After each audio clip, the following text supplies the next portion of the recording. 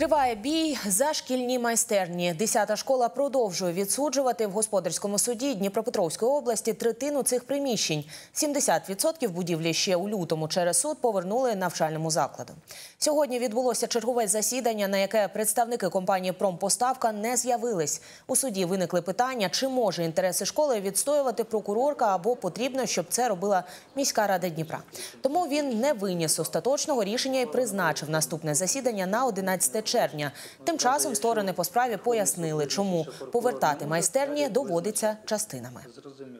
Шкільні майстерні вибули на підставі двох рішень суду, одне з яких 2009 року, і е, яке право з приводу якого слухала сьогодні. Рішення 2009 року е, скасовано лютому місяці цього року. Тому е, залишилось для того, щоб ініціювати повернення е, вказаних майстерень закладу, необхідно ще скасувати, переглянути це рішення.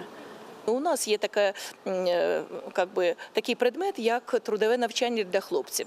І ми будемо говорити про те, що обладнання для майстерень для хлопців ми збудуємо там в цих майстернях.